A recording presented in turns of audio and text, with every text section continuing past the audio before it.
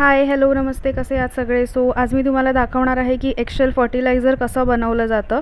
तर हे मी अंड्याच्या साली घेतल्या आहेत आणि ह्यांना मी व्यवस्थित धुतलं होतं आणि ह्यांना आपल्याला ड्राय करायचं आहे. एखाद दोन उन्हामध्ये ड्राय करायचं आहे आणि त्यानंतर आपल्याला क्रश करून हे यूज करायचं आहे सो मी माझ्या बऱ्याच व्हिडिओमध्ये बोलते की आपल्याला बोन मिल यूज करा करायचं असतं प्लांटसाठी वगैरे.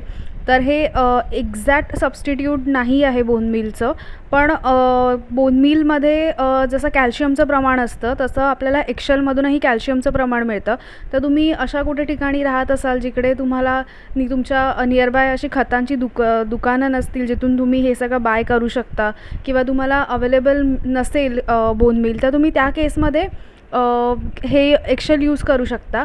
पण हे पूर्णपणे तुम्हाला सबस्टिट्यूट नाही आहे बोन मिलचं कारण का बोन मिलमध्ये अजून काही वेगळे घटक असतात जे झाडाच्या वाढीसाठी खूप इम्पॉर्टंट असतात. पण टेंपररी बेसिसवर तुम्ही वा वापरू शकता.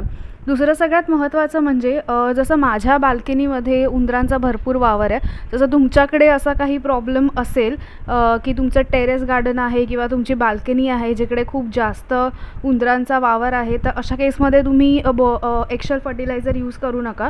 कारण काय होतं की ह्याच्यामध्ये एक उग्रस वास असतो जो त्यांना अट्रॅक्ट करतो सो त्याच्यामध्ये ते जास्त प्रमाणात तुमच्याकडे येऊ शकतात. सो तुम्ही तेव्हा हे यूज करू नका. पण असं जर काही नसेल आणि तुम्हाला कॅल्शियम प्लांटला द्यायचं असेल आणि तुमच्याकडे एक्शेल्स अवेलेबल असतील तर तुम्ही ॲटलिस्ट त्यांना क्रश करून यूज करू शकता. तर ही पूर्ण प्रोसेस कशी करायची आहे ते मी तुम्हाला ह्या व्हिडिओमध्ये दाखवणार आहे. सो मी ते एक्शेल्सला मिक्सर ग्राइंडरमध्ये क्रश करणार आहे. तुम्हाला जर ही प्रोसेस कम्फर्टेबल नसेल तर तुम्ही ह्याचा चुरा करू शकता हाताने आणि तोच तसाच प्लांटमध्ये टाकू शकता. द रिझन इज की मी हे करते कारण का मला व्यवस्थित पावडर फॉर्ममध्ये ते हवं आहे. आणि कारण का जर पावडर फॉर्ममध्ये असेल तर डिकम्पोज लवकर होईल. तर त्यामुळे मी ते पावडर फॉर्ममध्ये करण्यासाठी मी ग्राइंड करते. पण तुम्हाला जर नसेल करायचं तुम्ही कम्फर्टेबल नसाल तर नाही केलात तरीही चालेल. सो इथे बघा तुम्हाला कळतं आहे की मी पूर्ण मिक्सरमध्ये क्रश केलेलं आहे हे. आणि ऑलमोस्ट हाफ क्वांटिटी झालं आहे ऑफकोर्स कारण का ते क्रश केलेलं आहे म्हणून. तर आपल्याला हे यूज करताना बेसिकली तुम सगळ्यात इम्पॉर्टंट मला इकडे हे सांगायचं आहे की तुम्ही हे जेव्हा आपण यूज करू तेव्हा आपल्याला इमिजिएट दहा ते पंधरा दिवसामध्ये रिझल्ट नाही येणार प्लांट्सवर कारण एकतर हे पहिला मातीमध्ये डिकम्पोज होणार आणि त्यानंतर ते सॉईलला न्यूट्रिशन देणार. सो ह्या सगळ्या प्रोसेसमध्ये टाईम लागेल. सो अगदी असं कधी गृहित गृहीत धरू नका की तुम्ही हे फर्टिलायझर टाकलं आणि एक दहा पंधरा दिवसातच तुम्हाला लगेच खूप पॉझिटिव्ह रिझल्ट मिळेल. तर असं होणार नाही. रिझल्ट तुम्हाला मिळणार पण थोडा वेळ लागेल. आणि हे कारण का हे एकतर ऑर्गॅनिक आहे इकडे कुठलंही केमिकल्स नाही आहेत.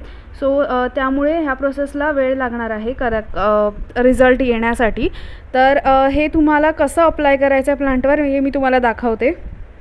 सो हे आहे आपलं फर्टिलायझर आणि हे सदाफुलीचं प्लांट आहे ज्याच्यावर मी हे अप्लाय करणार आहे फर्टिलायझर तर हे अप्लाय करताना सगळ्यात पहिला आपल्याला माती कोरडी ठेवायची आणि क्वांटिटी मी बघू शकता. अर्ध्याच म्हणजे पाव चमचा आहे पाव चमचा घेतलेला आहे मी. तर हे आपल्याला जसं आपण नेहमी बाकीची खतं टाकतो तसंच आपल्याला कुंडीच्या रिंग भोवती टाकायचं आहे. आणि ते टाकल्यानंतर आपल्याला परत माती व्यवस्थित करायची आहे. थोडं खाली टाकायचं आहे. अगदी वरवर वरवर मातीवर टाकायचं नाही आहे आणि सगळ्यात इम्पॉर्टंट म्हणजे हे टाकल्यानंतर आपल्याला पाणी घालायचं आहे झाडाला. ड्राय ठेवायचं नाही आहे इनफॅक्ट कुठ कुठलंही खत आपण जेव्हा यूज करतो तेव्हा ते यूज केल्यानंतर आपल्याला पाणी घालायचं आहे झाडाला. व्यवस्थित संपूर्ण पाणी घालायचं आहे आणि हा होता आजचा संपूर्ण व्हिडिओ एक्शल फर्टिलायझर अबाउट तर हा व्हिडिओ तुम्हाला कसा वाटला तो नक्की कमेंट करून सांगा आणि व्हिडिओ आवडला असेल तर लाईक करा शेअर करा सबस्क्राईब करा. भेटूया आपण आपल्या पुढच्या व्हिडिओमध्ये. तोपर्यंत खूप छान छान झाडं लावत राहा प्राण्यांवर खूप प्रेम करत राहा. Bye bye.